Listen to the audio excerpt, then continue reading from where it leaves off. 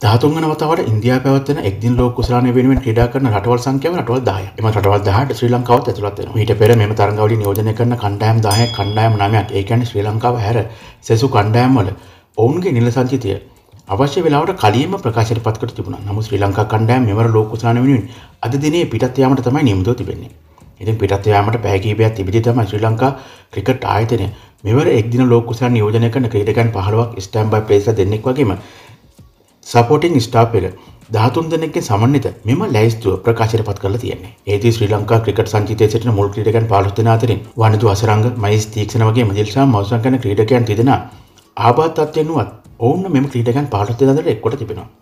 ඒදී වනිදු අසරංග වගේ මහිස් තීක්ෂණ අද දිනේදී ශ්‍රී ලංකා කණ්ඩායම් සමගින් පිටත් වෙන්නේ නැහැ. ඉදිරි දිනයකදී ශ්‍රී ලංකා කණ්ඩායම් සමගින් ඔවුන් එකතු වීමට නියමිතයි. නිත්‍ය ක්‍රීඩකයන් 15 දෙනාට අමතරව ස්ටෑන්ඩ් බයි ප්ලේස් විදිහට චාමි කවුරානන්ද වගේම දුෂාන් හේමන්තව තමයි ඔවුන් නම් කොට තිබෙන්නේ. මේදී සුබ නැකතින් රාහුල් කාලේ පන්නලා නම් කරපු ක්‍රීඩකයන් 15 දෙනා වන්නේ නායක දසුන් ශානක, කුසල් මෙන්ඩිස්, පැතුන් නිස්සංක, කුසල් ජනි පෙරේරා, සදීර සමරේක්කම, චරිත් අසලංක, දුනිත් වෙල්ලාලගේ, ධනංජය සිල්වා, ලහිරු කුමාර, කසුන් රායිත, මතීස පතිරණ ක්‍රීඩකයන් 12 දෙනා අනිවාර්යයෙන්ම මෙවර ලෝක කුසලාන නියෝජනය කිරීම නියමිතයි.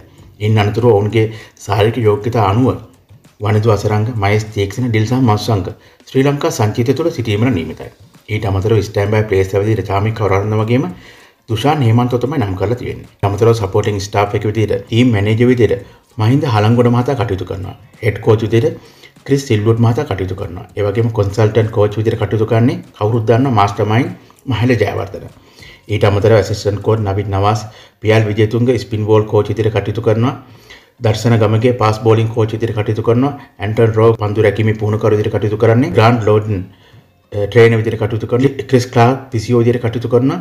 සිරන්ත නිරෝෂණ ඇනලයිසර් විදිහට කටයුතු කරනවා. රොහාන් ප්‍රියදර්ශන eh, මෙස්ස විදිහට කටයුතු කරනවා. වෛද්‍යවරයා විදිහට කටයුතු කරන්නේ පී කිරිල්ල.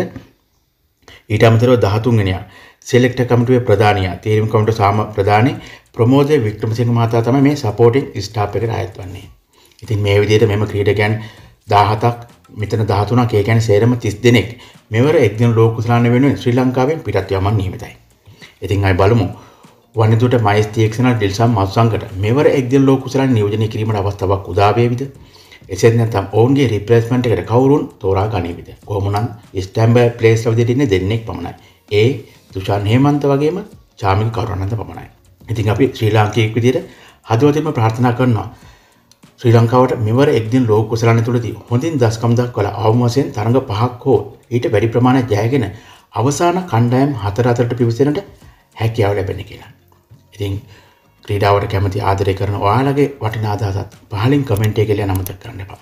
එහෙනම් ලෝක කුසලානි පිළිබඳ නවතම තොරතුරු දැනගන්න SL ක්‍රිකට් ෆෑන්ස් අපිව සබස්ක්‍රයිබ් කරලා බෙල් අයිකන් එක ක්ලික් කරලා අපිත් එක්ක දිගටම ඉන්න. සියලු දෙනාටම ජයග්‍රහශීලී සුබ දවසක්.